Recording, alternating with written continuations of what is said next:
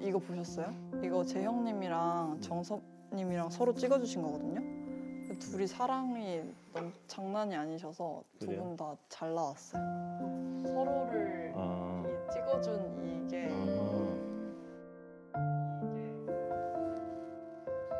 저는 우리 우리 질 수 없는데.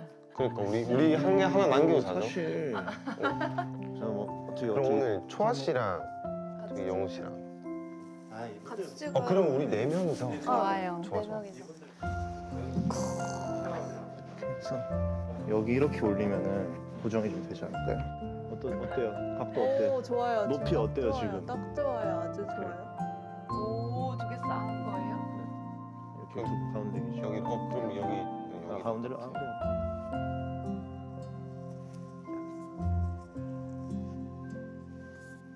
될것 같은데? 음. 한 번 더? 한 더? 어, 어 근데 뭔가 지금 벌써 잘 나왔어. 아, 잘 나왔어요? 조금만 더 가까웠으면 좋겠어요. 균형 감각이 좀 있으시네요. 아니요, 그 소파에 등을 기대고 앉아.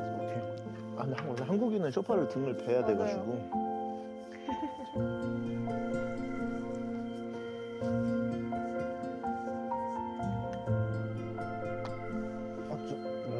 자세가 약간. 깜답했어. 한 번 더, 한 번 더, 한 번 더.